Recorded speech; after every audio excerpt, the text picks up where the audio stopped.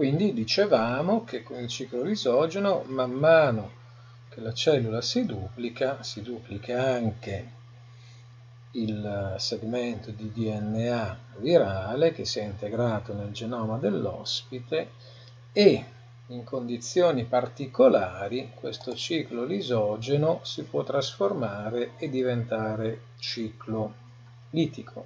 Ad esempio gli herpes virus come l'herpes labiale. Eh, noi per chi ha l'herpes eh, questo virus rimane integrato, meglio il genoma virale rimane integrato in eh, cellule umane, in genere resta silente, quindi il ciclo lisogeno procede, il virus non si manifesta se non quando il sistema immunitario del nostro individuo si indebolisce, ad esempio in seguito a forti periodi uh, di stress, quindi lunghi periodi stressanti, indebolimenti dovuti ad altre patologie o l'invecchiamento, ad esempio uh, ci sono virus sempre di questa famiglia che possono uh, dare la varicella in alcuni periodi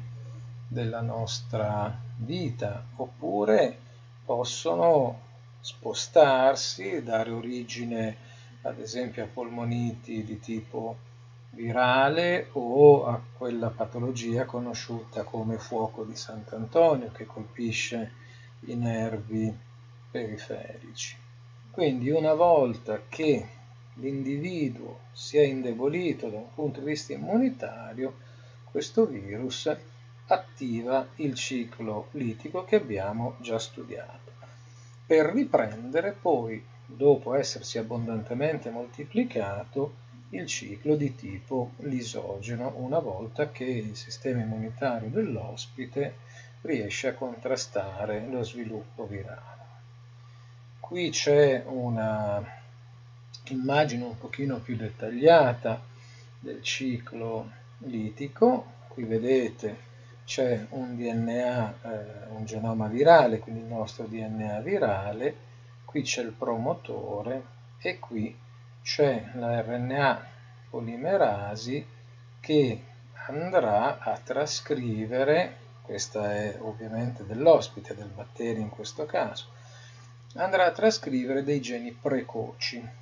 Quindi inizialmente abbiamo visto si preoccupa di bloccare la trascrizione batterica, impedire al batterio di far partire meccanismi di difesa.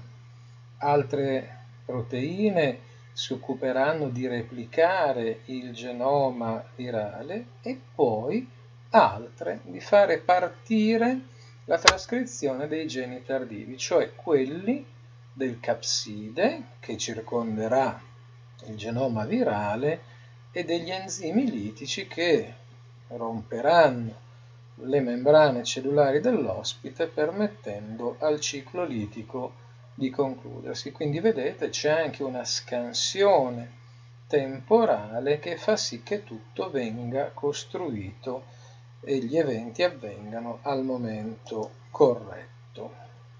Adesso in questa lezione introduttiva vediamo alcune generalità, andremo nei dettagli quando ci occuperemo in maniera più specifica delle patologie di tipo virale. Un virus molto famoso è il virus dell'influenza, ad esempio l'influenza di tipo A, che colpisce eh, tipicamente l'uomo con degli effetti relativamente gravi nelle persone sane e giovani appartiene agli ortomixovirus. Questo virus ha questo tipo di ciclo che adesso andiamo a vedere. C'è un envelope glicoproteico, un capside proteico e un RNA virale a filamento negativo. Poi vediamo che cosa vuole dire. Queste glicoproteine riconoscono dei recettori sulla membrana plasmatica, ingannano questi recettori e il virus viene endocitato. Una volta endocitato, l'envelope virale e la membrana del fagosoma si fondono. Da questa fusione c'è la liberazione del contenuto del capside che degenera e libera l'RNA virale. Questo RNA virale così com'è non funziona ancora, deve essere eh, trasformato in un altro filamento di RNA, quindi deve essere duplicato. È una duplicazione del DNA che avviene ad opera di una RNA polimerasi RNA dipendente. Vi ricordo che il fenomeno della trascrizione, che non è questo, avviene ad opera di una RNA polimerasi DNA dipendente, quindi ha bisogno di un filamento di DNA per poter trascrivere l'RNA messaggero, transfer o quello che è. Ora, questo nuovo messaggero può essere utilizzato sia per arrivare ai ribosomi e produrre quindi proteine, sia per continuare la duplicazione, quindi fare n copie di RNA virale. Questa uh, strada fa produrre le proteine necessarie, che sono le proteine del capside e le glicoproteine che verranno messe poi nell'envelope.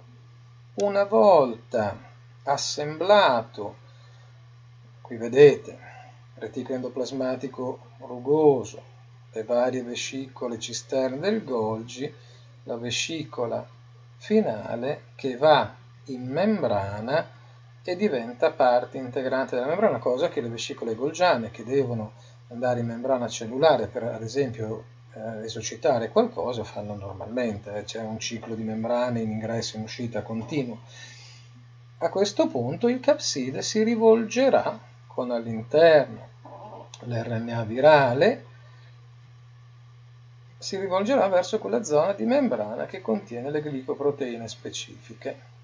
Si avrà un'esocitosi in cui il capside con dentro l'RNA virale uscirà, ci sarà una formazione di vescicola, quindi si riforma esattamente il nostro virus ortomixo con l'envelope, le glicoproteine che abbiamo già visto, il capside proteico e l'RNA e anche ovviamente dimenticavo l'RNA polimerasi RNA dipendente che si deve portare in giro.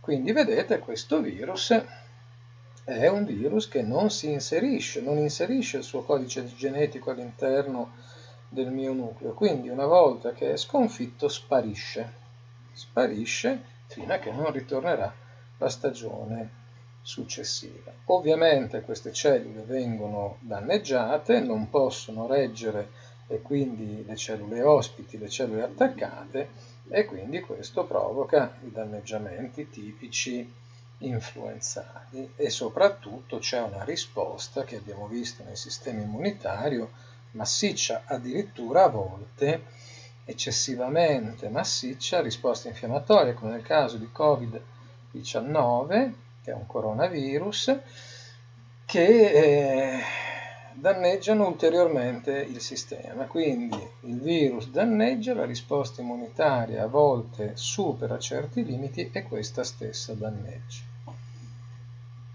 Qua ci sono alcuni, mh, mm, alcuni dettagli eh, del nostro ortomixo virus. Le emoagglutinine sono eh, delle proteine eh, particolari, sono trimeriche, eh, direi, mh, mm, che hanno una funzione nel riconoscimento della cellula ospite e come dice il nome sono in grado anche di agglutinare, quindi unire fra di loro i globuli rossi. Il virus dell'HIV di cui parleremo estesamente in una lezione direi monografica, è un retrovirus, cioè è un virus che possiede un RNA, possiede un enzima che si chiama retrotrascrittasi e questo enzima è in grado di leggere l'RNA e di trascriverlo in DNA. Quindi una DNA polimerasi RNA dipendente. Noi non possediamo questa possibilità di retrotrascrivere, quindi non è un enzima assolutamente presente negli esseri umani, ma è un enzima portato dal virus stesso. In questo caso che cosa vediamo? Vediamo che il virus arriva, c'è un rivestimento glicoproteico, in questo caso ovviamente diverso da quello precedente, ma il principio è lo stesso, si porta dentro due copie di RNA retrovirale e l'enzima, la trascrittasi inversa o retrotrascrittasi. Il capside proteico c'è il riconoscimento, abbiamo detto in una lezione preferenziale dei linfociti T, helper o CD4 o anche di macrofagi. C'è un ingresso dovuto alla fusione della membrana virale, dell'envelope virale con la membrana cellulare, la trascrittasi inversa inizia ad operare, produce un filamento di DNA complementare che verrà poi duplicato e si integrerà una volta entrato nel nucleo con il genoma della cellula ospite. Questo è un problema, perché questo DNA, che è parte ovviamente integrante del virus, è diventato ora anche parte integrante della cellula. Quindi la duplicazione cellulare farà sì che anche il DNA virale si possa duplicare.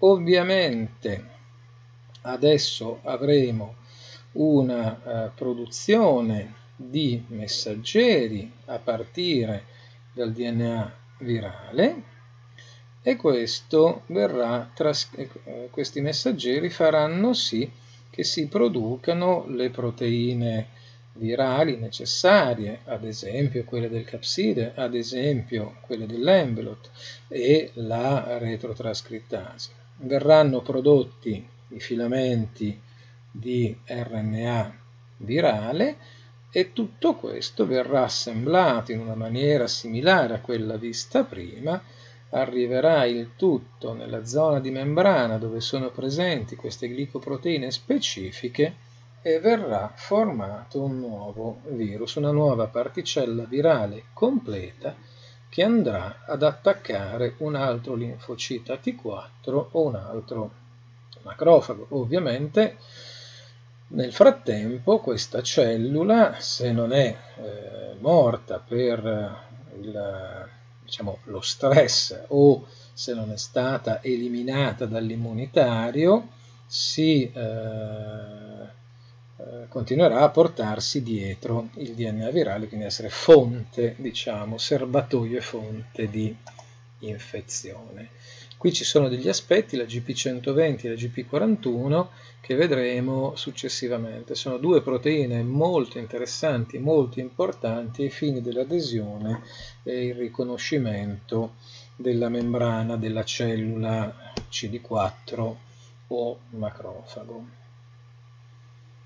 Uno dei casi più eh, studiati, anche perché ha avuto un impatto sulla popolazione non indifferente, è il caso del vaiolo, di cui vi parlerò nella prossima lezione.